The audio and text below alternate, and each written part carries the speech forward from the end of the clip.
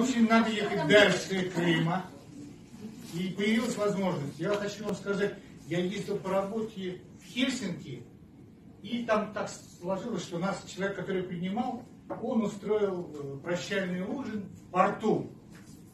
Там как раз спускали со стапелей огромное судно, больше 21 э, одной палубы, этажей. И я смотрел на него, оно самое огромное в мире, самое. И я думаю, ну когда-нибудь... И не верил, конечно. И здесь я езжу на мост труда, да, ввожу своего сына Добрыню, свою жену Полину. И мы смотрим эти суда, которые приходят, ну там не самые большие суда, но все равно это приятно.